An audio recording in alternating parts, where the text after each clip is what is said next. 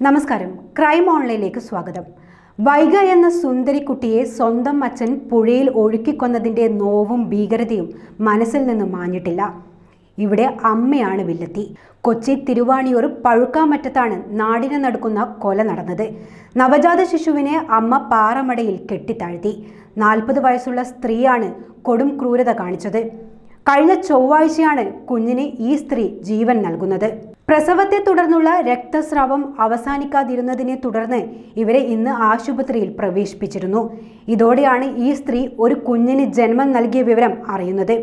രണ്ട് ദിവസം ആ കുഞ്ഞിന്റെ മൃതശരീരം ആ പാറമടയ്ക്കുള്ളിൽ. ആശുപത്രിയിൽ വെച്ച് ഡോക്ടർമാർ ചോദ്യം ചെയ്തപ്പോഴാണ് താൻ പ്രസവിച്ചെന്നും കുഞ്ഞിനെ വീടിനടുത്തുള്ള പാറമടയിൽ കെട്ടിത്താഴ്ത്തിയെന്നും അവർ പറഞ്ഞത്. ഇതോടെ ആശുപത്രി അധികൃതർ പോലീസിനെ വിവരം അറിയിക്കുകയായിരുന്നു. കുഞ്ഞിനെ പാറമടയിൽ കല്ലിട്ട് കെട്ടിത്താഴ്ത്തിയെന്ന് സ്ത്രീയുടെ മൊഴിയുടെ അടിസ്ഥാനത്തിൽ പോലീസ് പാറമടയിലെത്തി പരിശോധന നടത്തുകയാണ്. ഉപയോഗശൂന്യമായ പാറമടയിൽ നിന്നും കുഞ്ഞിനെ കണ്ടെത്താൻ സ്കൂബ ഡൈവിംഗ് വിദഗ്ധരുടെ സഹായം പോലീസ് തേടിയിട്ടുണ്ട്. പ്രസവവും രണ്ട് ദിവസം നീണ്ട രക്തസ്രാവവും കാരണം അവശയായ യുവതിയുടെ ആരോഗ്യനില മെച്ചപ്പെട്ട ശേഷം വിശദമായി ചോദ്യം ചെയ്യാനുള്ള തയ്യാറെടുപ്പിലാണ് പോലീസ്. നാൽപ്പത് വയസ്സുള്ള ഈ സ്ത്രീക്ക് നാല് മക്കളുണ്ടെന്നാണ് വിവരം.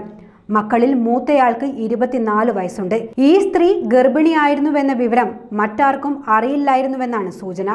കൃത്യം ചെയ്യാൻ ഇവരുടെ ഭർത്താവ് സഹായിച്ചോ എന്ന കാര്യവും പോലീസ് പരിശോധിക്കുന്നുണ്ട്.